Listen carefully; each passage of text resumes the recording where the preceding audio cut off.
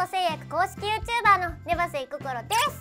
今回は新しいゲームを考えてきたのでそれを発表したいと思います。題して方言変換テスト。皆さん YouTube でじゃがりこ面接って流行ってるの知ってました？あれがすごく好きで面白いなと思ってそれをオマージュさせていただいてゲームを作ってきたんですよ。で方言変換テストとはお題として出てくる標準語を瞬時に方言に変化するゲームです。私の場合は大阪出身なので大阪弁です。私の場合は大阪出身私私の場合は大阪出身なので大阪弁ですね。というわけで早速ゲームスタート。眠い時一瞬トイレで寝ちゃうよね。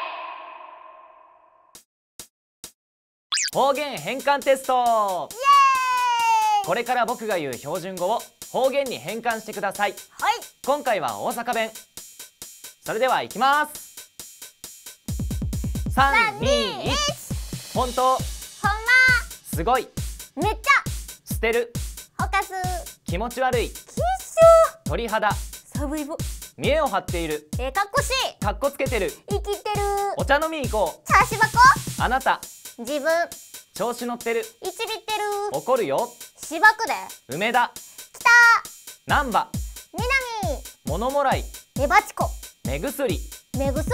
肌ラボ。肌ラボ。レオコレオコちゃん。ありがとうございました。お疲れ様でした。お疲れ